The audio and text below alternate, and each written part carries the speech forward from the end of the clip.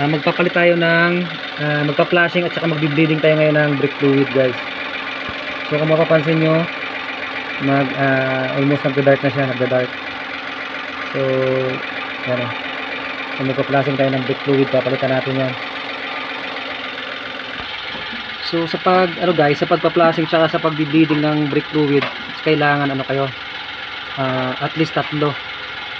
So isa yung nagbubomba ng preno, isa yung nagbi-bleed dito, dito sa caliper, sa may bleeder, tsaka isa yung naglalagay ng nagtatap up ng brake fluid. Yan, so dito tayo mag dito yung ito yung bleeder ng ng preno, ito yung sa caliper yung bleeder niyan. Yan. So aalisin natin yan. Aalisin natin. Yan. So kailangan natin ng ah, bote 1.5 tsaka hose. Tsaka ah, 8 mm na combination wrench para maluwagan natin tong ano, yung leader. Size niyan 8 mm.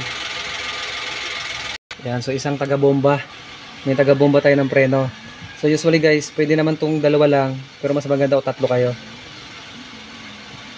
So kung dalawa kayo, isa yung nagbi-bleed, isa yung nagbi-bleed, isa yung nagbubomba, yung nagbi-bleed, siya rin yung gagawa ng pagtatap up ng brake fluid.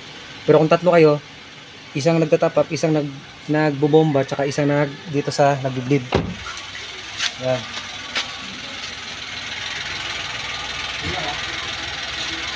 So guys, luwagan natin. Ayan. Game, bomba! Ah. Yan, ganyan guys. Yan, lumalabas yung lumang brake fluid. Yan, nagpa-flashing tayo. Mamaya magbi-bleed tayo. Bumbahin muna natin ang bumbahin para lumabas yung ah, lumang brake fluid, yung maruming brake fluid. Matigas, John? Ah, sakto lang. Kung mapansin nyo guys, ha? Magda-dark na siya. Dark, kulay dark na. So, ibig sabihin, dumudumi na. So, kailangan kasi every 40,000 odo, kailangan natin mag flashing tsaka mag bleeding ng ano brake fluid para bago na naman ulit ang ating brake fluid.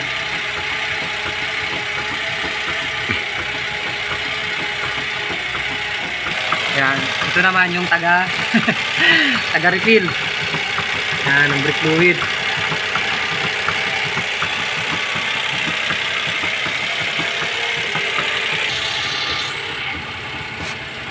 Apak Bomba. Yan, ganyan guys. I-bleed na natin siya, i-bleed. Apak. Bomba.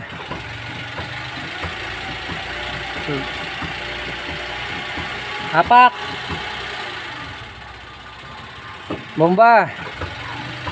Ganito lang guys pag pag pag-apak, ibaba, ibalik mo agad siya. Apak. Yan ganito guys oh. Pag-apak, luwag, balik, bomba.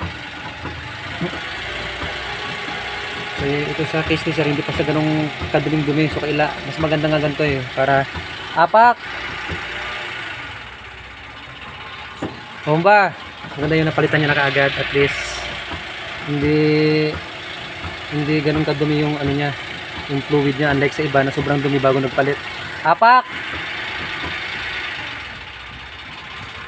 bomba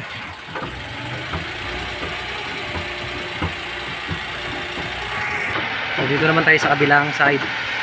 Kanina nasa right side tayo ngayon, sa left side tayo guys. So, paras lang din ang procedure. So, ipa-flashing natin. Mamaya, i-bleed din natin siya. Flash muna. Pag nawala na yung dumi, magkukulay ano na siya, magkukulay ano na, yung malinis na yung ano niya, yung lumalabas dito, tsaka nyo na i-bleed.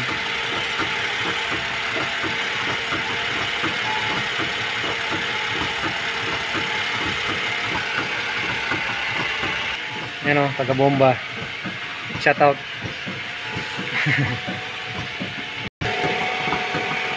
Yan guys, ingatan nyo maubusan ng fluid dyan. Kasi pag naubusan ng fluid dyan, ah, papasukin ng hangin yan.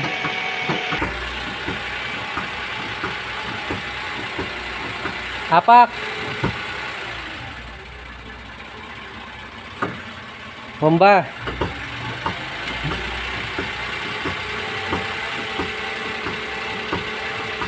Hapak. Eh, bomba.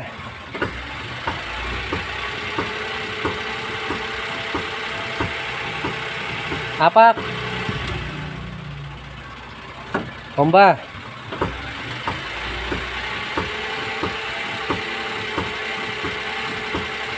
Hapak. Okay. Yan, wala nang hangin. Wala siyang hangin, walang bubbles. Yan, okay na yan. Okay, John? Dito sa likod, guys. Dito sa likod. Dito, ito naman yung kanyang bleeder. Yan, sa likod ng drum. Yan. Ito yung bleeder niya. Dito sa likod. Yan, sa drum. Sa rear, ano, rear brake. Yan, ito yung bleeder niya. Sa likod lang. Yan, o. Ito yung hose niya. Yan, ito yung hose. Yan. Yan yung hose. Yan dumadaan yung fluid. Ito yung bleeder niya. Yan, dyan tayo ngayon. Nag, dyan tayo ngayon nag-bleed tsaka nagpa-flashing. So ito yung brake fluid. So tapos na tayo dun sa kabila. Sa kabilang side. Front tapos na rin tayo. Dito na tayo sa right side. Ha? Okay.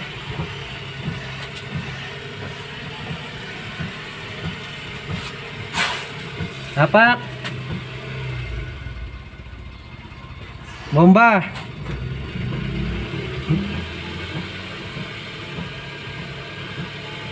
Hapak.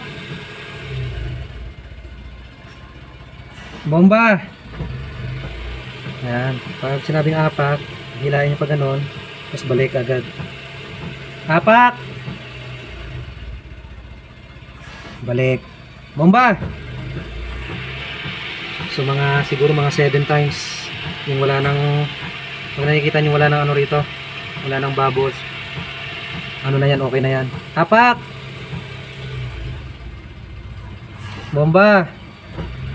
Usually guys wala namang bubbles eh. So kailangan ano, i-ano ko lang. Inaayos ko lang yung pagbiblib hapak bomba!